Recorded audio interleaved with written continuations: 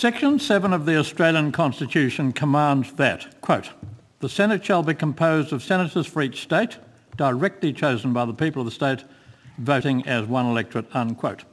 Section 24 deals with the House of Representatives.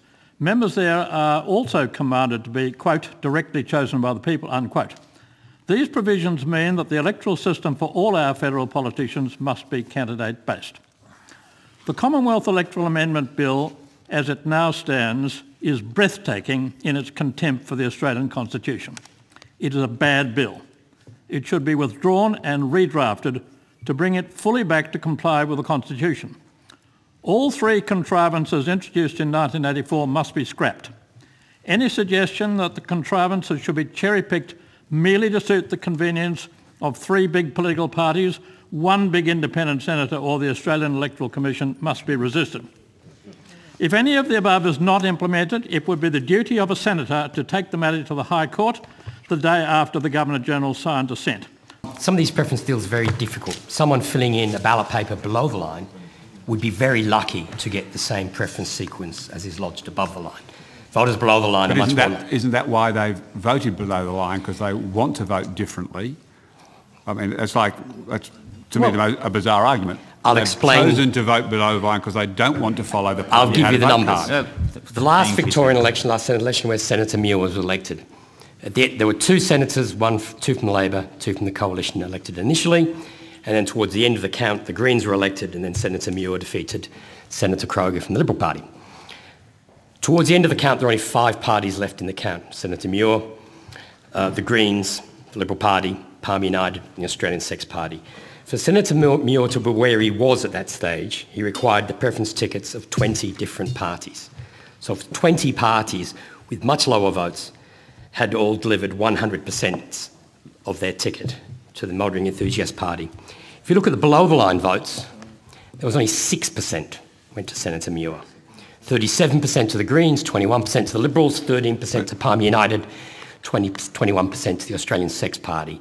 People filling in their preferences in their own way sort of went to the parties they knew. But they made the choice to vote below the line so they could do that. 100% so you, of people who voted below the line made the choice they didn't want to follow a party ticket. And how many people would have made that choice if they didn't have to fill in 93 numbers? So you object to the number of people the choice is asymmetrical. Below the line, you don't have to be a registered. You have been herding people above the line for the last three decades by making the choice of how to vote asymmetrical. You can walk in, or you can vote one, or you've got to fill in every box below the line. It's a herding process to make people vote above the line. I, I think that Senator Day said earlier today, um, what's wrong with people who trust their parties to vote one above the line? Honestly, I think in this case we can have our cake and eat it too. Six below the line or one above the line.